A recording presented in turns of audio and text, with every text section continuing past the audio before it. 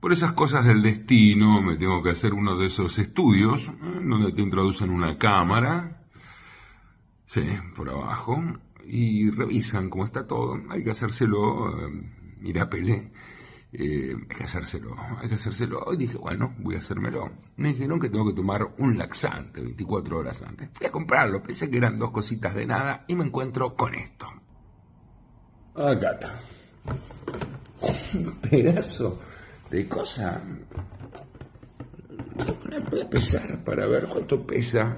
536. Esto va a estar complicado. Ok, perfecto.